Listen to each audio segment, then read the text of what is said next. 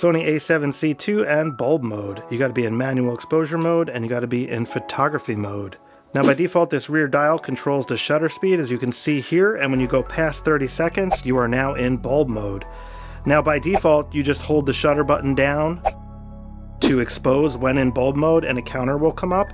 But of course this introduces camera shake and stuff, which is no good. But you can use a remote control or you can use the creative app to trigger the shutter or you can go in here to bulb timer settings and you can actually set the timer now. So you can turn that on and then you can change your timer for bulb mode. All right guys, so just to let you know, you cannot be in continuous shooting mode when you want to use bulb mode. So you have to be in either single shooting or just regular self timer mode. In addition, you can't be using silent mode or electronic shutter.